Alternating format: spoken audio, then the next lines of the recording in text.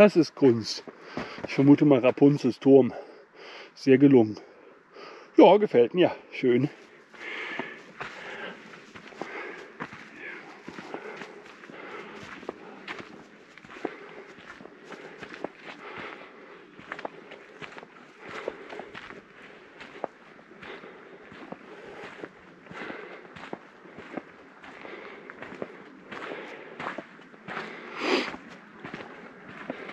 Seht ihr, das meine ich. Alles mit Moos bedeckt. Wo genügend Licht hinkommt, das Moos wachsen kann, da wächst es auch. Unglaublich hohe Luftfeuchtigkeit hier, also dauerhaft, nicht nur heute, immer. Ja, sonst kann das nicht so aussehen, wie es hier aussieht. Das Moos bekommt seine Feuchtigkeit nur über die Luft. Das kann anderweitig, oder halt wenn es gerade regnet, aber äh, anderweitig wird das ja nicht nass. Und bei diesen Mengen an in der Luft hängenden Moosen, weg von der immer feuchten Bodenschicht, ja, da ist immer eine gewisse Feuchtigkeit am Boden. Da oben nicht mehr. Das kann nur dann der Fall sein, wenn man hier wirklich ein unglaublich feuchtes Mikroklima hat. Den Hang, den wir eben gesehen haben, das war der hier gegenüber.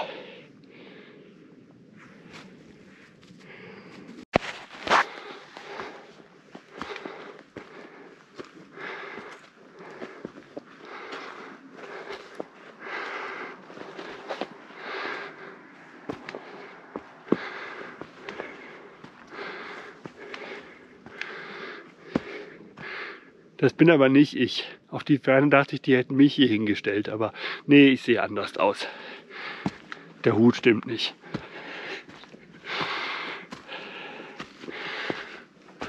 Und der Bart ist noch nicht ganz so lang. Ich arbeite dran. Kommt drauf an, wann Frau sich beschwert.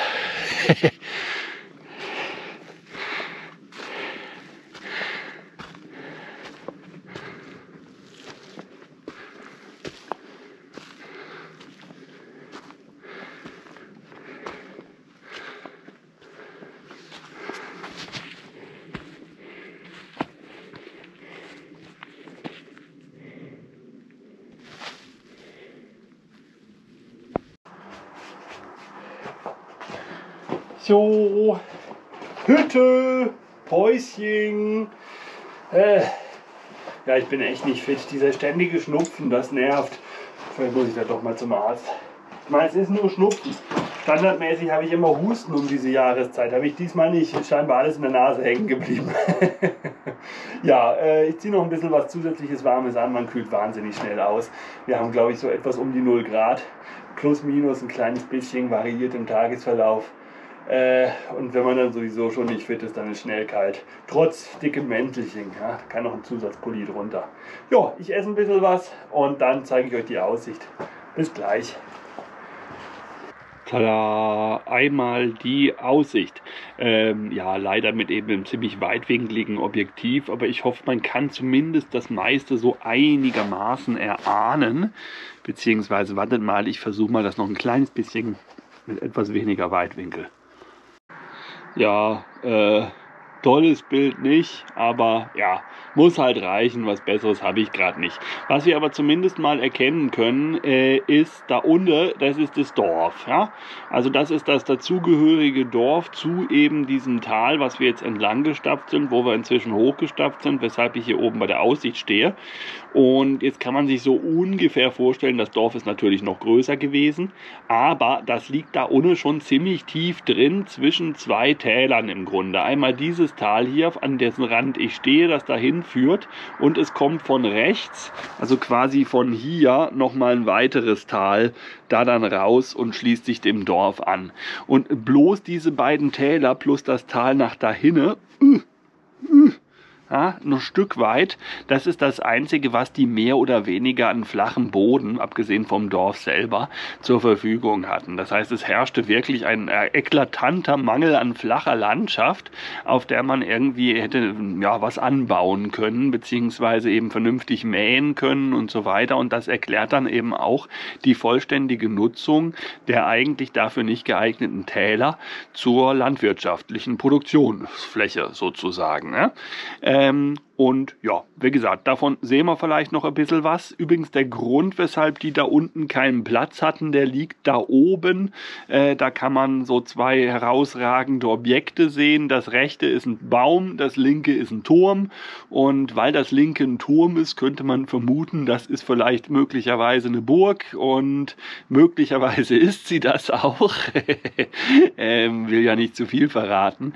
Und ja, drum saßen da oben auf dem Berg im Prinzip Prinzip schon die nächsten Bewohner der nächsten Stadt. Die waren zumindest früher auch wichtiger als die da unten. Heute hm, naja, touristisch ist eher da interessant als da, aber ich glaube, da ist eigentlich jetzt mehr Einwohner. Ich weiß es nicht.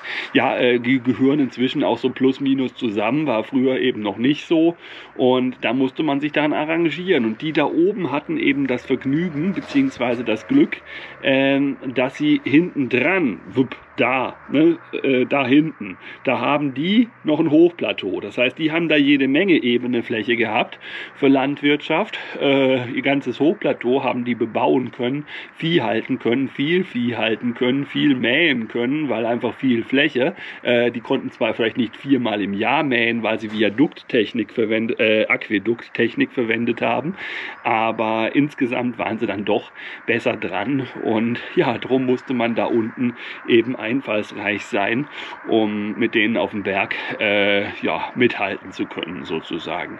Ja, ist bis heute noch so eine leichte, leichte, sympathische Feindschaft zwischen beiden Dörfern in Anführungszeichen feststellbar. Natürlich nichts Ernstes. So, und was wir dann noch sehen können, ja, hier Wald. Da hinten in der Mitte Wald. Da ganz hinten da hört der Wald auf, da ist ein Acker. Ja, ich hoffe, den könnt ihr einigermaßen erahnen. Also so das Letzte, was man noch sehen kann, da ist plötzlich der Wald weg.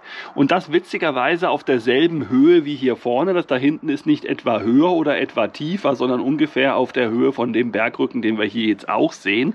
Und jetzt können wir uns ja fragen, wer wohnt denn da hinten, dass die da bitte schön ihren Wald gerodet haben, obwohl sie doch auch so schön waldige Hänge wie hier vorne haben könnten. Sind das etwa die Schwaben? Schwaben, die da drüben wohnen. Ja, und so gern ich die Schwaben verantwortlich machen würde, nee, weil die Schwaben wohnen hier auch schon. das heißt, äh, es kann eigentlich nicht an den Schwaben liegen. Ähm, daher muss es wohl einen anderen Grund gegeben haben. Herzliche Grüße an die, äh, meine Schwaben unter den Zuschauern. Ne? Ihr kennt das Spielchen ja, ja. Ähm, sondern der, der, das Witzige ist, wir haben hier quasi die luxuriöse Situation, von einer geologischen Großregion in die nächste geologische Großregion gucken zu können. Nämlich alles, was hier bewaldet ist, ist deswegen bewaldet, weil entweder ist der Hang zu steil oder äh, es lohnt sich einfach vom Boden her gar nicht, hier nennenswert was anderes als Wald zu versuchen, weil die Nährstoffe dafür nicht ausreichen. Allenfalls noch äh, Weideviehhaltung wäre möglich oder eben so ein verzweifelter Kartoffelanbau, wie man es unten im Tal betrieben hat. Ein Tal hat aber grundsätzlich äh, insbesondere nah am Bach äh, immer eine halbwegs vernünftige Nährstoffversorgung, weil der Bach für einen gewissen Nährstoffnachschub sorgt, wenn er mal ein Hochwasser hat. Und das ist hier an den, auf den Hochplateaus eben überhaupt nicht der Fall. Und das ist außerdem äh, nicht der Fall, weil wir hier eben diesen schlechten Boden haben, und zwar Buntsandstein. Und zwar reicht der Buntsandstein witzigerweise genau bis nach da hinten Gegenden, wo dann plötzlich statt Wald äh, auf einmal Weide bzw. Ackerfläche ist, weil da der Buntsandstein eben aufhört und was kommt stattdessen? Muschelkalk. Und was ist Muschelkalk? Sehr fruchtbar. Ja, es ergibt also vollkommen Sinn, dass man da drüben dann Landwirtschaft betrieben hat, weil es der Boden hergegeben hat. Man musste nur sehr wenig zudüngen. Äh, man kann da wahrscheinlich bis heute theoretisch auch Landwirtschaft ohne jeden Kunstdünger betreiben, einfach weil der Boden sehr, sehr fruchtbar ist. Das wird irgendwann mal aufhören aufhören, dann müsste man noch nachdüngen. Äh, tut man heutzutage eh schon für noch bessere Erträge. Aber grundsätzlich ist auf Muschelkalk wirklich sehr viel möglich hinsichtlich landwirtschaftlicher Nutzung. Ja, also das kann man so im Wesentlichen aus dieser Landschaft hier ablesen. Übrigens, dass das größtenteils hier Nadelwälder sind, das liegt natürlich vor allen Dingen in der Historie begründet, dass man eben früher dachte, Nadelholz sei hier äh, die bessere Idee. Ähm, das ist es zum Bauholz erzeugen und zum Geldverdienen damals auch noch gewesen. Das hat sich inzwischen halt einfach gewandelt. In manchen sehr eng eingeschnittenen, sehr feuchten Tälern wie die Wolfschlucht, durch die wir gerade gekommen sind, ist auch hier noch Nadelholz Nadelholz durchaus zukunftsfähig und es ergibt auch Sinn, da weiter auf Nadelhölzer, vorzugsweise die Tanne und nicht die Fichte zu setzen. Aber ja, vieles von den Nadelwäldern, die wir hier jetzt sehen können, wird sich im Laufe der nächsten Jahrzehnte etwas mehr äh, in Richtung eines erhöhten Laubwaldanteils entwickeln das, das meiste von dem, was wir hier sehen. Das, das hat allerdings hierzulande auch noch keine große Eile, weil ihr stellt vielleicht auch fest, es fehlen die Löcher im Wald, ne? es gibt weit und breit keine.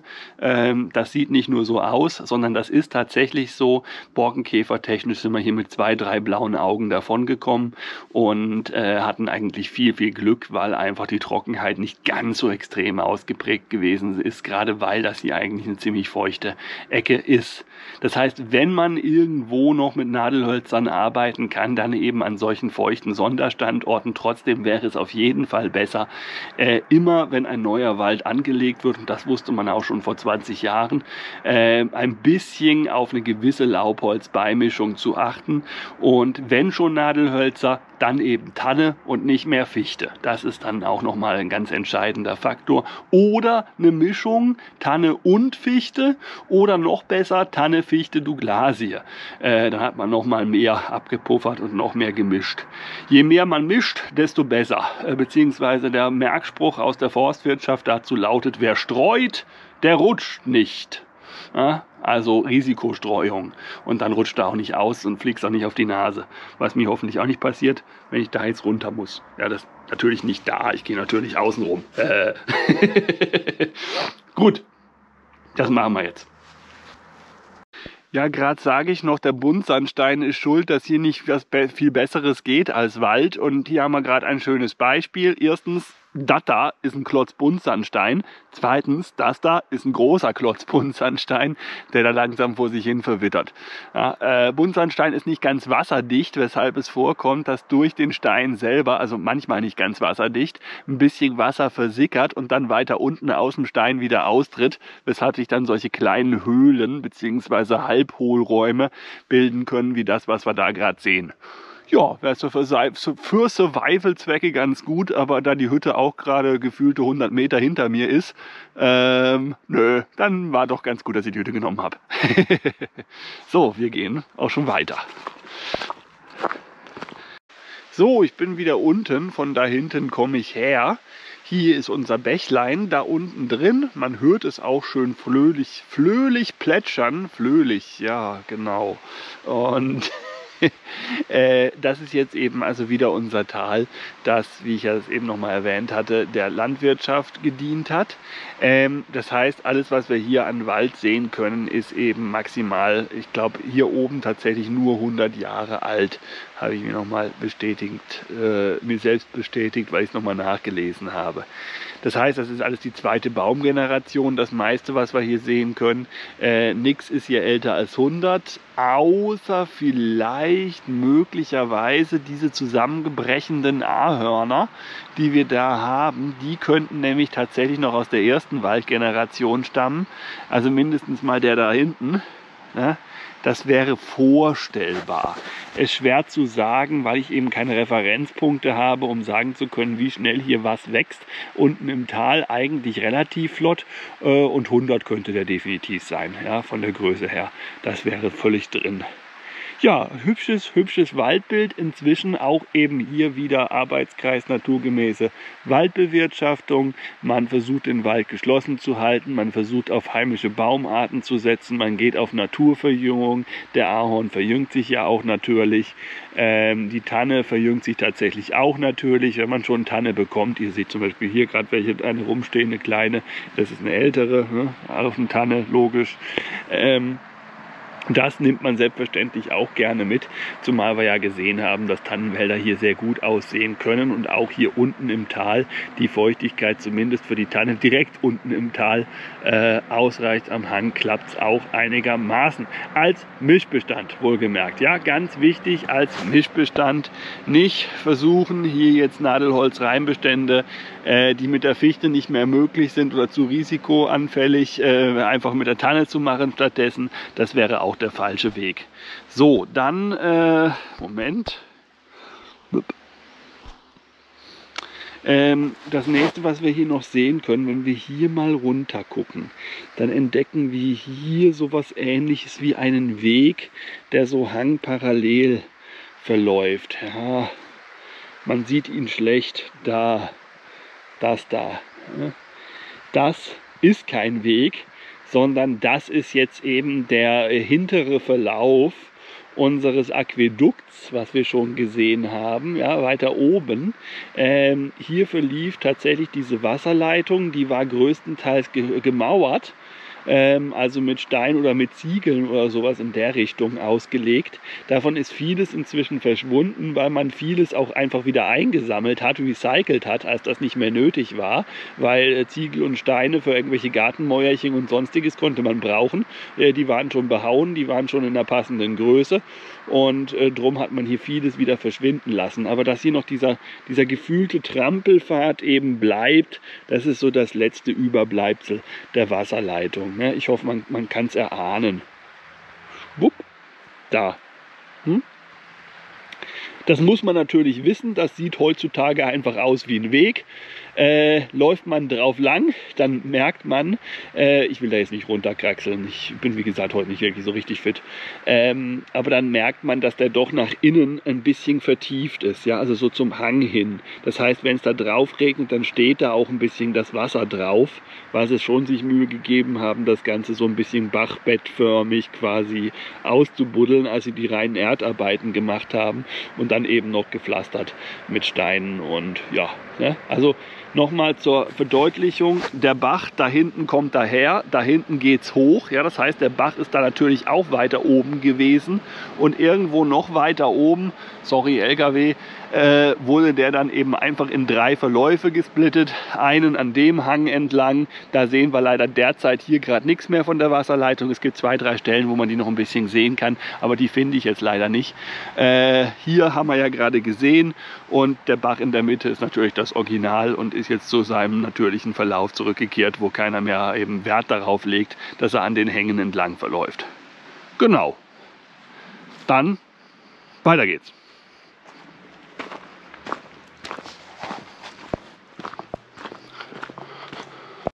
Ja, ein paar Worte mag ich noch verlieren zu dem Ahornbestand, den wir hier jetzt sehen können. Ja, das ist ja alles Naturverjüngung, das erkennt man allein schon daran, dass die meisten der Ahorner mehrstämmig gewachsen sind. Das heißt, es fiel an diesen Ort ein Haufen Samen.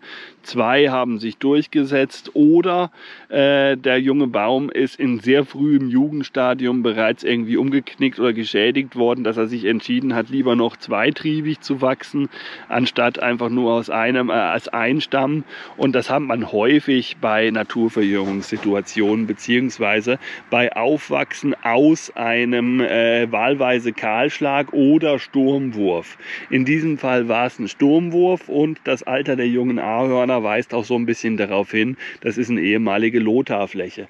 Hier war es also auch der gute alte Orkan, der 1999 den halben Schwarzwald gefühlt platt gemacht hat, der hier auch für die Schäden verantwortlich zu machen ist. Das kann man übrigens sehen, dass es ein Sturmwurf gewesen ist. Wenn man jetzt hier Bildmitte guckt, da seht ihr, da ist ein Ahorn umgefallen. Ja, hat hier es geschafft, noch ein kleines bisschen Kontakt mit Wurzel zu Boden aufrecht zu erhalten, also nicht vollständig beim Umfallen entwurzelt zu werden. Seine Krone lag trotzdem auf dem Boden. Äh, das heißt, er war viel zu weit weg vom Licht und jetzt musste er sich was einfallen lassen. Da der Stamm jetzt nicht einfach eine Kurve machen kann, Glück, und wieder nach oben. Das funktioniert nicht. Äh, Bäume haben kein Scharnier, das sie bei Bedarf einfach umklappen können.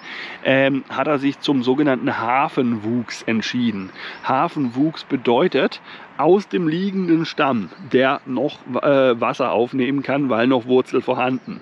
Schießen, zack, zack, zack, zack, wie die Seiten einer Harfe. Da könnte man jetzt blingelingeling machen, quasi, ja, äh, nach oben. Und das nennt man Hafenwuchs. Das ist ein häufiges Phänomen nach Sturmwürfen, dass dieses dann entsteht. Ähm, sehen wir vor allen Dingen bei Laubbäumen. Nadelbäume machen das, ich sage jetzt nicht nie, aber doch nur außerordentlich selten. Und das ist also auch ein Konkurrenzvorteil, den dann ein Laubbaum im Vergleich zum Nadelbaumbestand hier einfach hat, nach einer Sturmwurfsituation möglicherweise eben erfolgreicher wieder hochwachsen zu können und unter anderem wegen dieser Spezialanpassung Hafenwuchs. Ja, sehr viele äh, Ahorner, die man hier sehen kann, haben irgendwelche unten am Stamm sich befindlichen Wuchsdeformationen, weil sie eben ausstöcken, aus umgestürzten Ast Baumtellern und sonst wie ausgetrieben sind, also unter suboptimalen Bedingungen, aber es trotzdem geschafft haben, sich dann durchzusetzen und schnell nach oben zu wachsen. Denn der Ahorn ist ein Halbpionier, äh, bedeutet in der Jugend hat er Eigenschaften eines Pionierbaums, bedeutet wächst schnell hoch und äh, hört dann aber auch schnell wieder aufzuwachsen. Aber dieses rasche Jugendwachstum, dieses einmal schnell zack hoch, alles dicht machen und danach haben wir Zeit, können wir uns Zeit lassen, äh, davon profitiert er doch dann sehr bei der Wiederbewaldung solcher Flächen. Ja? Also das kann man hier so ganz nett erahnen, wie das abgelaufen sein könnte. Wunderbar, das habe ich gesucht, das wollte ich euch noch zeigen. Hier haben wir eine Waldrandbuche. Ja, Bildmitte, eine Buche. So, dass hier eine Buche steht, erstmal überhaupt nichts Verwunderliches. Äh, die darf hier sehr wohl stehen, gehört hier auch ganz gut hin. Äh, sieht auf den ersten Blick jetzt auch nicht weiter besonders aus. Wenn wir da aber mal hochgucken, es handelt sich um eine mehrstämmige Buche. Buchen wachsen sehr selten mehrstämmig und wenn sie es tun, dann eigentlich fast nur dann, wenn sie sich ein bisschen im Freistand befinden und sehr viel Licht abbekommen und es sich daher für die Buche auch lohnt. Äh, der Platz muss da sein, sozusagen eine breite Krone zu machen dann entwickelt sich gerne mal die Mehrstämmigkeit. Das heißt, in Anbetracht dessen, wie langsam auch eine Buche wächst und wie dick die hier schon ist, die war noch da. Äh, es dürfte eine der letzten gewesen sein, die noch gekeimt ist, als sich der Waldrand genau hier befunden hat. Das heißt, das war der äußerste Baum des Waldes der da, hier, ne? Ähm, damals wahrscheinlich auch noch mit einem deutlich höheren Buchenanteil, weil die, äh, der menschliche Einfluss, der immer mehr zu Nadelholz tendiert hat, äh, da noch nicht ganz so ausgeprägt gewesen ist, wie das dann nochmal die letzten 150 Jahre veranstaltet haben. Und äh, das heißt, die müsste irgendwie sowas um die 150 alt sein, das kommt von der Dicke auch hin. Ähm, und da war der Buchenanteil vermutlich noch höher. Und sie zeigt eben ganz klar ein Wuchsmuster, das sich später hinterher daher jetzt angepasst hat auf, es gibt Nachbarn. Ja, also man, man, man sieht das wirklich, dass sie sich ein bisschen äh, äh, dünn gemacht hat, obwohl sie ursprünglich von der Veranlagung her hätte breit werden können. Gerade eben mit dem Extraast und mit der Möglichkeit, sich auseinander zu fächern. Und sie wäre dann wahrscheinlich auch einfach niedriger geblieben. Die ist jetzt äh, sekundär noch in die Höhe gewachsen, einfach weil sie gemerkt hat, Mist, ich habe ja auf einmal Nachbarn, aber ursprünglich hatte sie zumindest nach unten, keine Nachbarn. Äh, da steht jetzt ein äh, zweimal äh, ist es Fichte? Ja, ist Fichte. Ähm, und Fichte wächst ja viel, viel, viel, viel schneller. Das heißt, das würde wunderbar hinkommen, dass diese Fichten, sagen wir jetzt mal so 70, 80 sind äh, und unsere Buche sozusagen eingeholt haben und die jetzt sekundär eben während des Alters feststellen musste, dass sie plötzlich viel weniger Platz zur Seite hat, ihr die Fichten auf die Nerven gegangen sind, die Tanne rechts daneben langsam auf die Nerven gegangen sind und all das erst hochgekommen ist, als sich hier überhaupt wieder ein Wald gebildet hat. Ja, so ungefähr kann man sich das vorstellen, so könnte es gewesen sein. Auch hier, ne, das dass diese Gebüschlinie und da drin mal etwas älterer, das deutet auch so ein bisschen darauf hin, hier war ursprünglich mal gar kein Wald. Wobei natürlich das da ist eine ehemalige Fichtenfläche. Dass da jetzt der Bergahorn steht, das liegt nicht daran, dass das jetzt noch die ehemalige Wiese ist, die hier auf zum ersten Mal hochwächst mit Bergahorn, sondern das war mal Fichte und ist im Sturm umgefallen. Fichte-Reimbestand.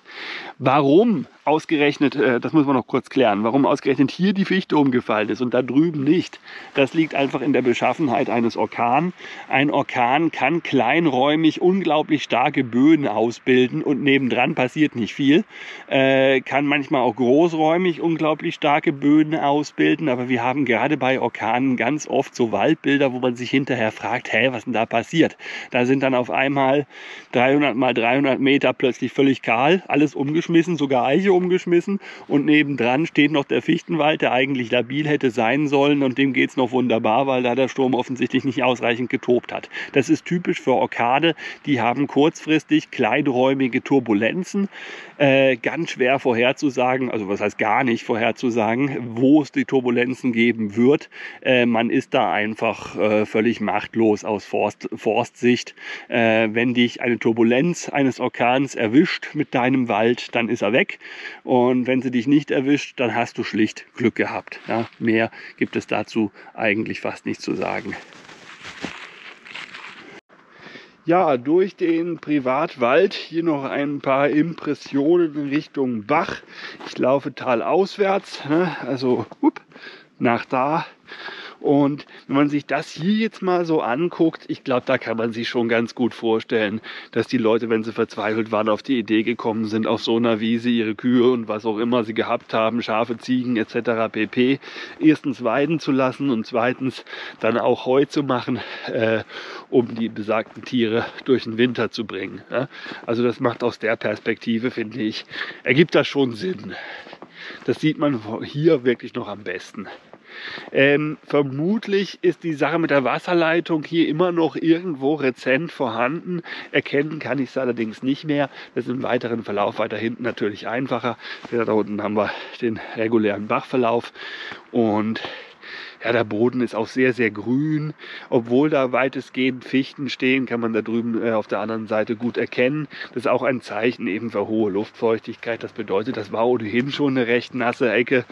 Äh, und damit glaube ich schon, dass das fürs Heu machen, fürs Nachwachsen vom Gras, was eben auch von der Wasserversorgung abhängig ist, eine ganz gute Sache gewesen ist. Hier haben wir nochmal so einen Randbaum. Ja. Dass hier so ein Laubbaum mitten im Nadelwald steht, das ist kein Zufall, das ist der ehemalige Waldrand. Da unten Wiese, hier hinter mir, da alles Wald damals. Ja. So, und damit äh, möchte ich mich auch tatsächlich so langsam verabschieden. Äh, da kommt noch mal ein Waldrandbaum. Ja. Also das ist schon auffällig. Die, die passen hier einfach nicht rein. Äh, ja, und es für heute gut sein lassen. Habe mit dem Bus noch mal einen relativ langen Weg zurück. Das Dumme ist, ich habe außerdem vergessen zu gucken, wann der eigentlich bitte schön fährt. das heißt, ich kann schlimmstenfalls äh, verpasse ich ihn gerade so und renne noch eine Stunde im Dorf auf und ab, um nicht zu erfrieren, äh, bis der nächste kommt. Ähm, ja, vielleicht drehe ich in dem Fall noch irgendeine Kleinigkeit. Wenn ihr also nichts mehr von mir hört, dann habe ich den Bus einigermaßen zeitnah bekommen. Ah, hier wird es nochmal schön urig. Ist insgesamt doch ein sehr hübsches, äh, insgesamt hübsches Waldgebiet. Gerade wenn man mit diesen Nadelwaldbildern, wie hier jetzt gerade, was anfangen kann. Das ist natürlich ein Stück weit Geschmackssache. Und solange der Hang auch gleich, gleichermaßen unglaublich bemoost ist, so wie das hier jetzt wieder der Fall ist, dann sind diese Nadelwaldbilder, wie gesagt, auch in keinster Weise kritisch zu hinterfragen. Da gehört sich dann meistens so, äh, gerade wenn da noch viele Felsklötze in der Gegend rumliegen, ähm, ist das möglich. Ja, aber trotzdem, wenn man was Neues anlegen würde, wenn jetzt hier Löcher im Wald entstehen würden, a Vorgehensweise der Wahl Naturverjüngung. Naturverjüngung ist immer besser, es sei denn, b, das, was ich von Natur aus verjüngen würde, ist völliger Mumpitz soll heißen, man hat eine, eine reine Anpflanzung von Fichte und die wird jetzt platt gemacht und es droht dieselbe Fichte, die damals angepflanzt wurde, nochmal hochzukommen, die ja schon bewiesen hat, dadurch, dass sie platt gemacht wurde, dass sie nicht besonders angepasst ist, gewesen ist auf den Standort, an dem sie platt gemacht wurde. In dem Fall kann man äh, tatsächlich besser pflanzen, anstatt dass man nochmal den gleichen Kladderadatsch bekommt, der sich schon mal als nicht gut erwiesen hat. Ne? Genetisch gesehen den gleichen Kladderadatsch, weil das dann ja direkte Nachkommen der Vorgänger sind. Ähm, das ist so ein Fall, wo man dann wirklich vielleicht besser angepassten Bergahorn hier unten ins Tal äh, reinpflanzen würde, beispielsweise, um damit bessere Ergebnisse zu erzielen. Oder anderer Grund, wo man dann doch besser pflanzt, als Naturverjüngung zuzulassen, ist schlicht und ergreifend, es gibt gar keine Naturverjüngung, weil das Loch im Wald so riesig ist, dass die nächsten Bäume, die Samen produzieren könnten, einfach viel zu weit weg sind. Ja, das ist natürlich auch immer eine Möglichkeit, äh, dass man dann pflanzt, wenn man gar keine Naturverjüngung bekommt. Aber ansonsten, wie gesagt, Naturverjüngung immer besser. Warum? A, man kriegt die genetische Information Information zum Leben im spezifischen Standort äh, der Elternbäume an die nächste Generation weitergegeben. Und die sind dann eigentlich immer zumindest ein bisschen bis hin zu Haus gezeichnet angepasst. Äh, je nachdem, wie lang die Elternbäume und deren Eltern und deren Eltern und so weiter hier schon Bestand hatten. Das wäre jetzt in so einem ehemaligen Acker nicht besonders lange, aber hey, immerhin ein bisschen.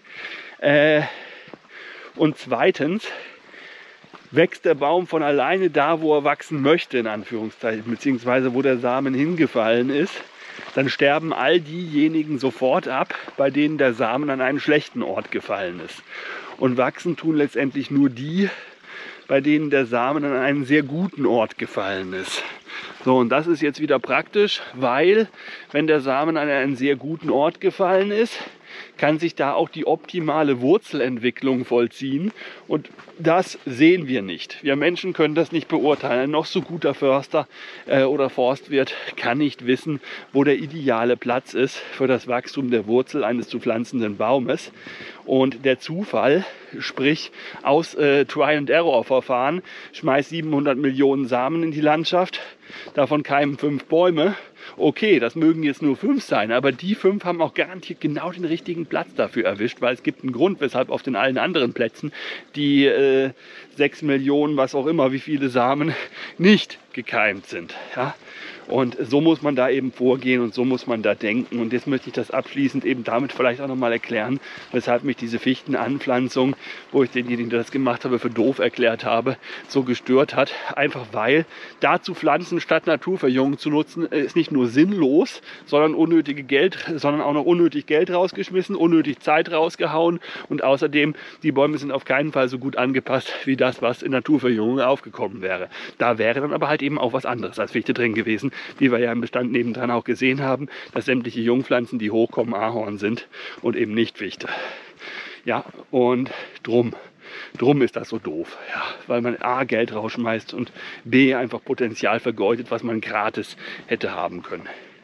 So, das ist es, glaube ich, gewesen. Damit dürfte ich gleich wieder aus dem Wald raus sein, beziehungsweise an Obelix Wetterstein äh, zurückgekehrt sein, der nicht von Obelix ist. Wobei, das wissen wir nicht. Vielleicht ist er doch von Obelix. ähm, und ja, bedanke mich. Bis zum nächsten Mal. Und ich hoffe, im Bus taut mein linker Fuß auch wieder auf, weil der ist gerade sehr kalt. Tschüss.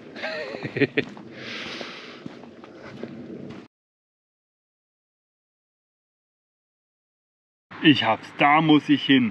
Das ist der Heilstollen. Der Heilstollen ist besonders geeignet. Äh, bei äh, Anwendungsgebiete gelten hier die chronische Bronchitis sowie Asthma, Bronchial, äh, Bronchiale? Nee, Asthma bronchiale, ach so. Äh, der Heuschnupfen und allergische Nebenhöhlenerkrankungen. Da wird mir bestimmt bei meinem Schnupfen geholfen. Da muss ich hin. Äh, ja, ich befürchte nur, die haben gerade nicht offen. Ja, könnte sein. so, macht's gut. Der Bus kommt in 10 Minuten, alles gut. Muss nicht lange warten.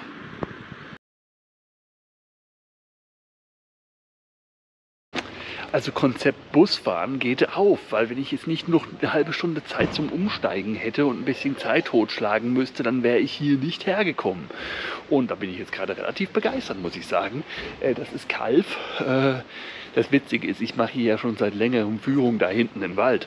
Äh, nicht vor Ort, natürlich in der Stadt. Deswegen bin ich gerade etwas schockiert von mir selbst, dass ich hier noch gar nicht in der Stadt gewesen bin.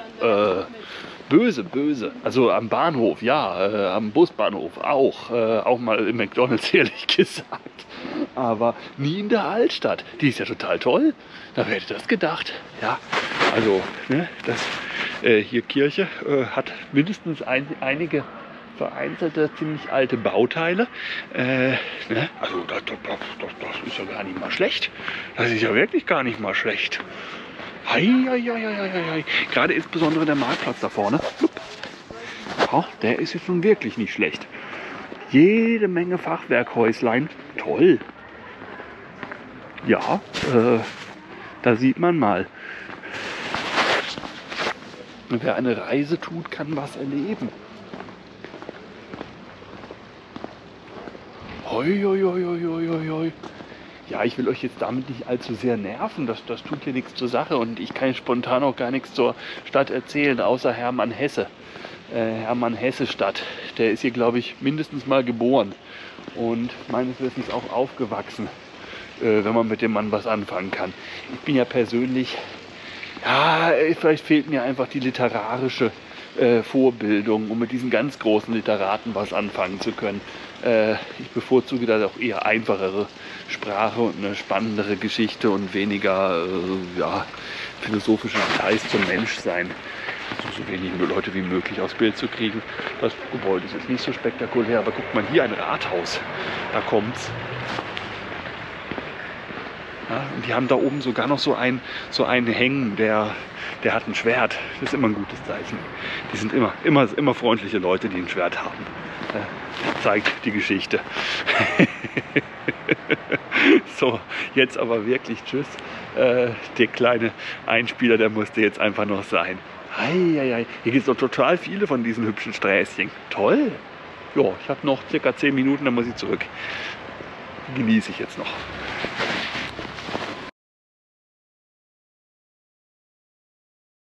Okay, doch noch nicht Schluss. Ich habe da noch ein kleines Stück Stadtmauer mit Wehrgang gefunden. Das ist wohl das letzte Stück Stadtmauer mit Wehrgang. Sensationell.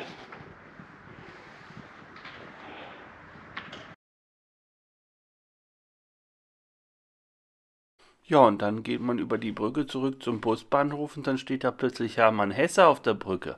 Aber Hermann Hesse ist dummerweise zur Bronzefigur erstarrt, als er seinen Hut gar nicht auf dem Kopf hatte, sondern nur in der Hand. Hab gedacht, da muss ich kurz nachhelfen und hab ihm meinen Hut ausgeliehen, damit er nicht so einen kalten Kopf bekommt. Ich meine, das Problem kennen wir, wir haben ungefähr die gleiche Frisur. So, jetzt ist aber wirklich Schluss und damit bis morgen. Macht's gut.